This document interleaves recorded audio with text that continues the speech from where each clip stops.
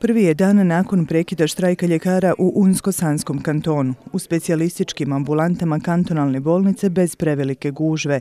Iako nisu željeli pred kameru, pacijenti su nam kazali da su strpljivo čekali prekid štrajka. Sada žele bržu ljekarsku uslugu. Dr. Amir Rekić, predsjednik sindikata ljekara kantonalne bolnice, nakon šest sedmica štrajka ponovo je u ambulanti sa svojim pacijentima. Radimo e, i one takozvane hladne slučajeve. Ja sam ovdje u specijalističkoj ambulanti, kolege su također na svojim mjestima. Redovni operativni program, hladni operativni program je također krenuo i još uvijek se uhodavamo, nije toliki broj e, pacijenata danas u čekavoncama, E, vjerovatno se radi o neinformisanosti ili još možemo tako reći ispitivanju terena okolnosti, ali ja pozivam pacijente da e, krenu u kako ovu bolnost, tako i sve druge ustanove i e, obave ono što su čekali.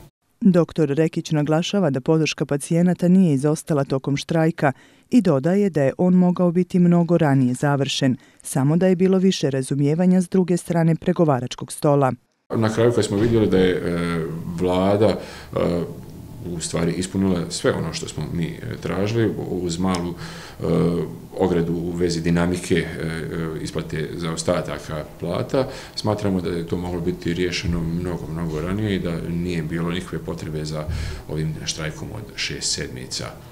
A zašto se odugovlačilo? Ne znam, to morate pitati vladu. Ja ne mogu reći, ja bih volio da se to riješilo onako kako se riješilo već nakon nekoliko dana štrajka na uh, obostrano zadovoljstvo i uh, na uh, korist naših pacijenata prije svega. Ono za što su se borili ljekari i stomatolozi okupljeni oko sindikata dijelimično je ispunjeno još u petak nakon postizanja sporazuma sa vladom i resornim ministarstvom.